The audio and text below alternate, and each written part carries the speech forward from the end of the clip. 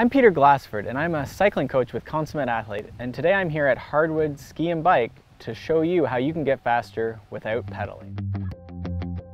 Pumping is the act of applying pressure to work with the terrain. And you might have seen kids playing in a pump track or, or in even like a BMX track, but it's not just for kids. It's something that we can use to get over a speed bump on our road bikes, and it's certainly something we can use on the single track to move safely and efficiently through the trails. To pump effectively, you need to get up out of the saddle and into your ready position. You're going to get those elbows bent, knees bent, and your face is going to be about over your stem and you're gonna apply pressure to those pedals. You're gonna have that weight in your feet and you're gonna try and get really heavy, try and even compress your suspension, maybe almost like you're testing your suspension or seeing if your tires have enough air in them. And then you're gonna let that unweight. And that's all pumping is, is this rhythmic pressure application to work with the terrain.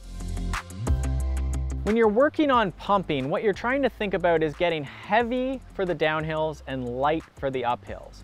So on the downhills and into that flat bottom, the lowest section of the series of whoops, we're trying to really apply that pressure. That's where the suspension is compressing, the tires are compressing, so that we can be light and sort of quickly get up the uphills.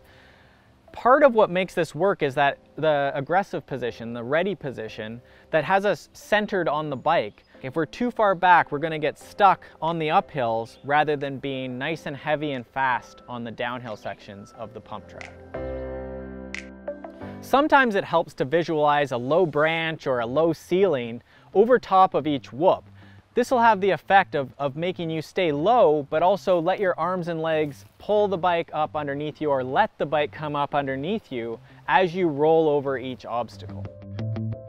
We can assess your ability to pump and work with the terrain by seeing how far you can roll after pumping over a series of rollers.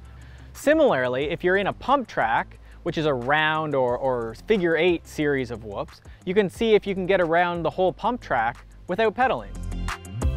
Mistakes to watch for with pumping are sitting down, staying too connected to the saddle while we're standing up, so maybe squeezing the saddle, moving too fore and aft, so sticking your butt back to try and pump, we also want to make sure that we're not doing big, slow squatting motions. Instead, we want to be thinking about really explosive, almost shorter, almost like a jumping sort of, or skipping motion. To progress your pumping, you need to spend time both in a formal pump track or on a series of whoops, but also using that pumping motion on the trail. There can be some tremendous gains simply by getting up out of that saddle and using that pressure application to work with the terrain.